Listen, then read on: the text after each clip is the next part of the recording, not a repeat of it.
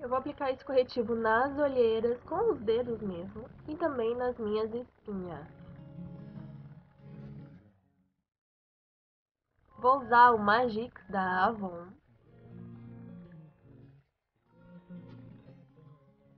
E a base vai ser da Color Trend da Avon, também na cor bege claro.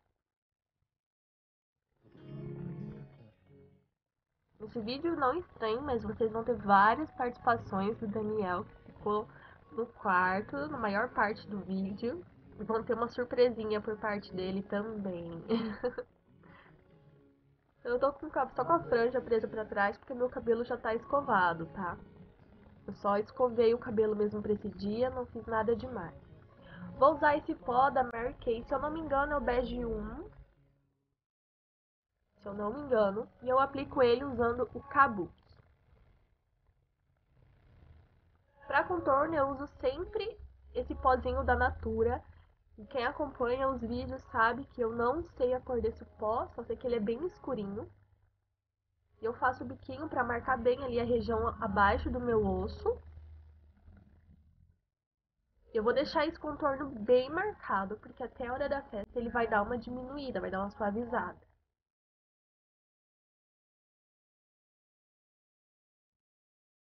Também depois, na hora que eu passar o blush, eu meio que dou uma é, suavizada nesse contorno, dou uma esfumada. Muito bico.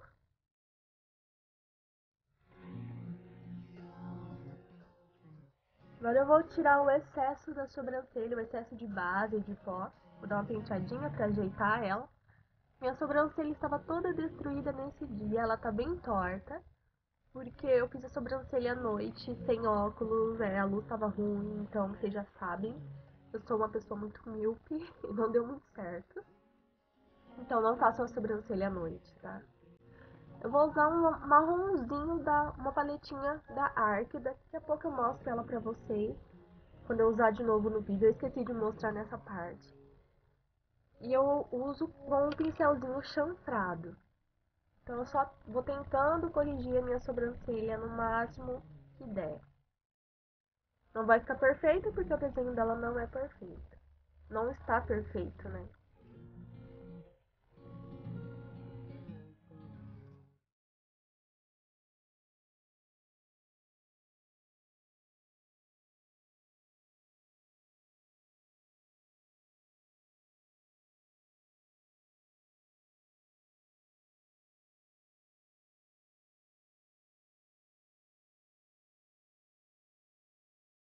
Agora eu vou pentear para tirar o excesso de pó. E com o cotonete, eu vou arrumar o desenho dela, vou dar uma esfumadinha para ficar mais natural. Vou usar agora esse rímel incolor para ajudar a deixar os pelinhos no lugar. Fique muito feio eu comendo aí sem parar. Tava comendo pera, não era chiclete, hein, gente?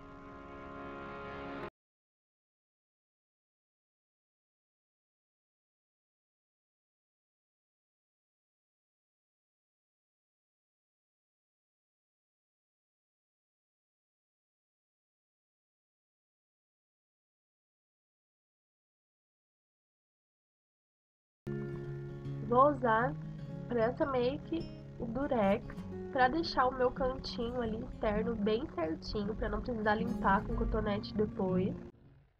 E também como eu vou usar um cantinho preto para não fazer sujeira, né? Então eu sempre uso o Durex na hora de fazer a make. Eu acho muito mais fácil. Toma cuidado pro seu Durex ficar igualzinho, tá? Senão a sua make fica torta.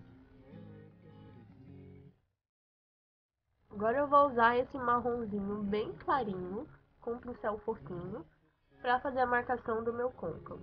Essa é a paleta de 88 cores neutras.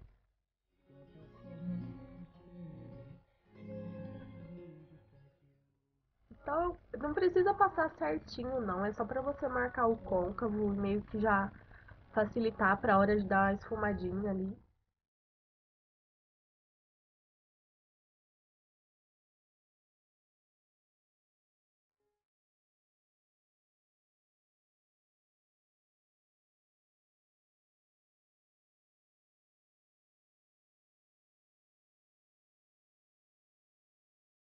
Agora converso um pouco com o noivo, que tem muita participação nesse vídeo.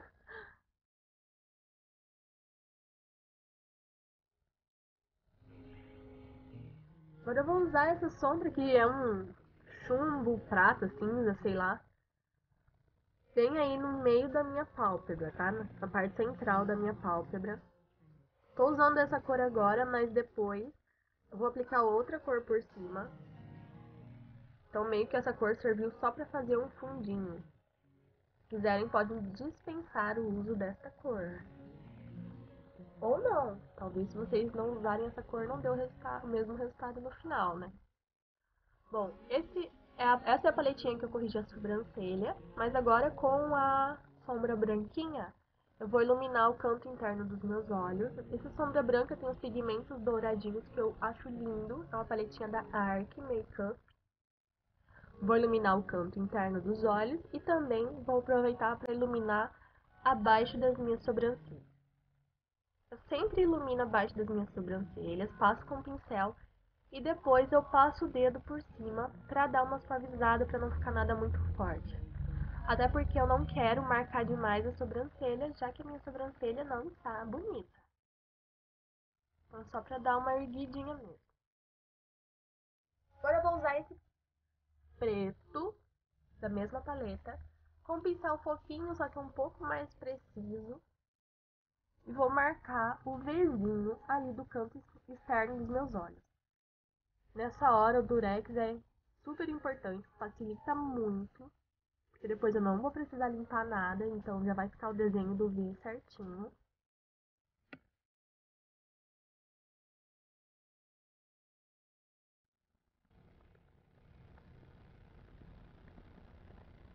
Eu faço só no cantinho mesmo, puxando ali um Vzinho.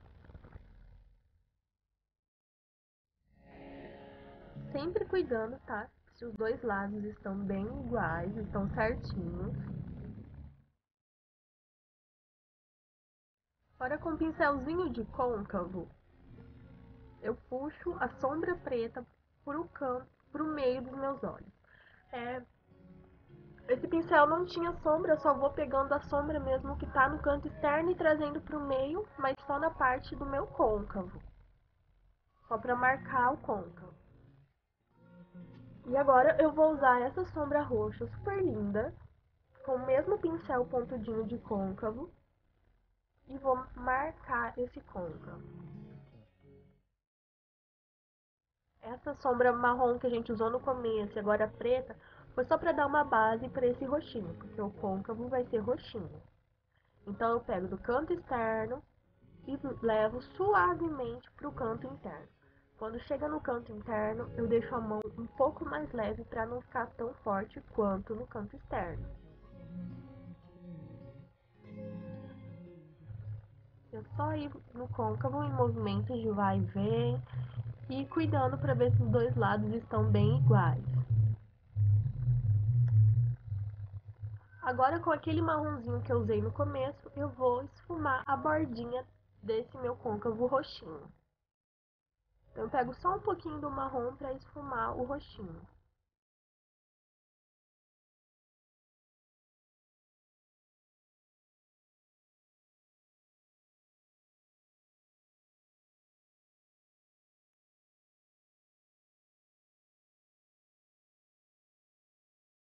Agora eu vou usar o jumbo novamente, porque lembra que eu falei pra vocês que eu vou aplicar outra cor na minha pálpebra? Então eu vou usar agora esse salmãozinho, porque eu acho que vai ficar mais bonitinho. Vai iluminar mais o olhar. Então eu vou usar o salmãozinho na minha pálpebra.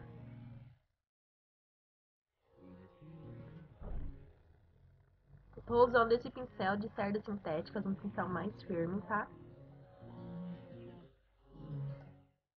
Apenas ali no centro da minha pálpebra, respeitando o preto e o branquinho do começo. Agora eu vou precisar esfumar mais uma vez para tirar essa marcação que o salmãozinho deixou. Então eu só dou esfumadinha ali com o meu pincelzinho de côncavo.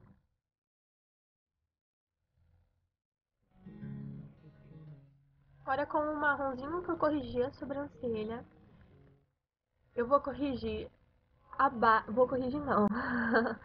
eu vou passar ali entre os meus cílios inferiores para disfarçar a olheira. Não é para corrigir, é para disfarçar a minha olheira. O noivo estava comendo. Muitas participações do noivo neste vídeo. Agora eu vou usar meu lápis queridinho, o Mega Impact. Eu vou passar ele na minha linha d'água e bem rente à raiz dos meus cílios inferiores e depois nos cílios superiores. Tem gente que fala que japonesa, porque tem olho pequeno, não pode usar lápis preto na linha d'água. É, eu gosto que o meu olho seja pequenininho, que na verdade eu acho que o meu olho é grande demais para de uma japonesa. Mas eu gosto de ser japonesinha, de ser mestiça, então eu não ligo que feche mais o meu olhar. Então eu aplico na linha d'água inferior, na linha d'água superior também. Não consegui mostrar nesse vídeo pra vocês, eu perdi a parte, mas é, eu fiz um delineado também, tá? A parte do delineado desapareceu, mas eu só usei um delineador Xing Ling, eu fiz um delineado simples, nada de gatinho nem nada. Vou usar o rímel da Avon, Extend Extreme, se eu não me engano. Ele é cheio de fininhos, cheio daqueles pelinhos que dão um volume, uma alongada nos cílios. Eu ia usar cílios postiços, mas o que eu comprei eu não gostei. Eu achei que ele ficou Emília demais. Ficou muito exagerado. Então eu só caprichei, eu passei várias camadas de rímel, tá? Eu precisei cortar o vídeo, mas foram muitas camadas de rímel.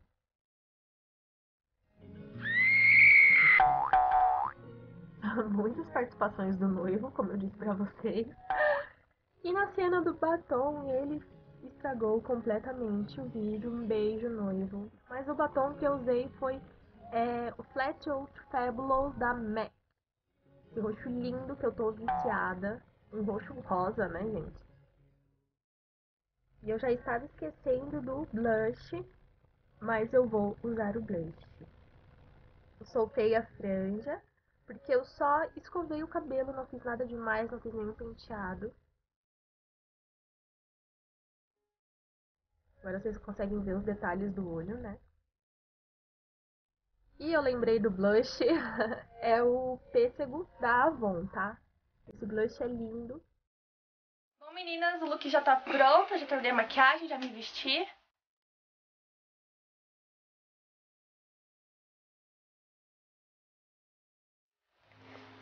E esse é o look de hoje. Então é isso, espero que vocês tenham gostado desse vídeo. Se, se você gostou, deixe arrume-se comigo, não deixe de curtir, deixar seu comentário aqui embaixo. E se você ainda não é inscrita no canal, inscreva-se.